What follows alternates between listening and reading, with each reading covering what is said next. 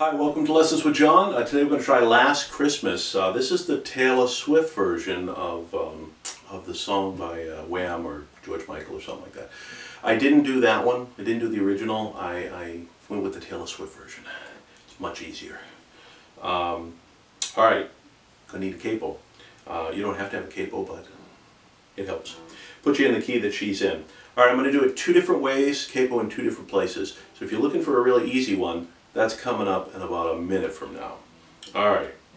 So I'm going to try it at the capo 3 first, okay? So what I need from the song is a D chord. Uh, she's in the key of F, so that's why we have the capo at the third fret. So we're going to do a D shape, uh, third string, first string, second fret, second string, third fret, and that's in relationship to to mute that sixth string, okay? So it's it's a it's her version's great because it just does four chords and they repeat the entire song. So it's really simple to, to, to remember. Uh, you're going to need a B minor. Um, so that's why this this is not quite as easy as the one I'm going to show you in a minute. So you bar the whole second fret, top five strings anyway. I don't really play the sixth string on this one.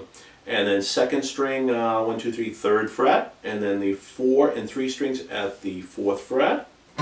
That's my B minor chord. Then an E minor chord, fifth string, fourth string, second fret. Everybody's open, everybody else is open. Then I need an A chord. I'm just going to take these two fingers, I'm going to move over uh, fourth string, second fret, third string, second fret, and then the pinky on the second string, second fret. Uh, I do it so I can fit my fingers in there. You can do it one, two, and three also though. I need the fifth string, uh, sixth string on that one. Okay? So, uh, that's it for chords, which is great. So what we're going to do, I'm going to do my wagon wheel strum, my generic strum, the down, down, up, up, down, up. Okay? You do that twice on each chord. So it's a D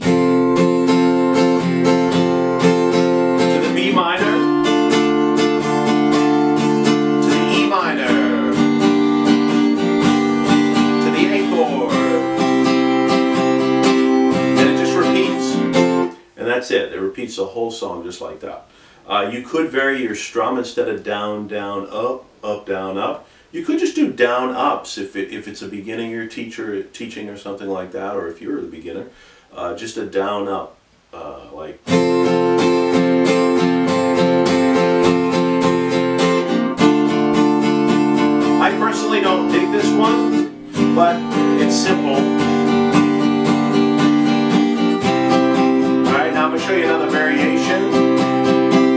Instead of doing down up the whole time, I'm going to kind of accent the first beat of each uh, pattern. So down, down, down, down, down, down, down. I like this one much better.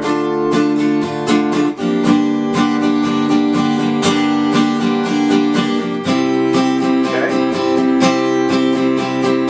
But anything will do really. It's pretty simple. Now we're going to try uh, Last Christmas with the capo at the fifth fret. Okay? This makes it even more simple than it is, than it really was.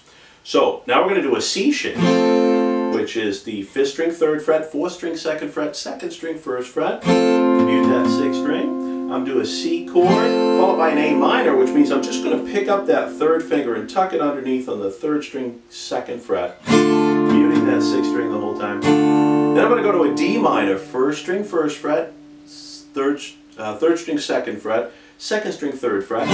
Definitely mute the sixth string on that one. Uh, and then I need a G chord, uh, sixth string, third fret, fifth string, second fret, second string, and first string at the third fret. That's my G chord. And that's all you really need. This is the simplest way to play this song. Um, uh, you got, you could do any pattern you want, the wagon wheel strum or, or one of the others. Here, I'll, I'll, I'll play it and you can figure it out.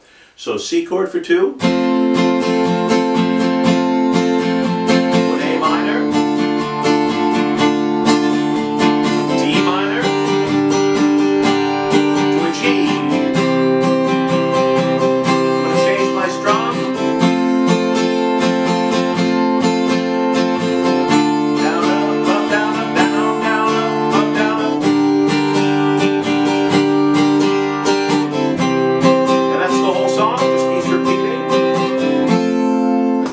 a C chord. Okay? Uh, thanks for watching. Merry Christmas and please subscribe.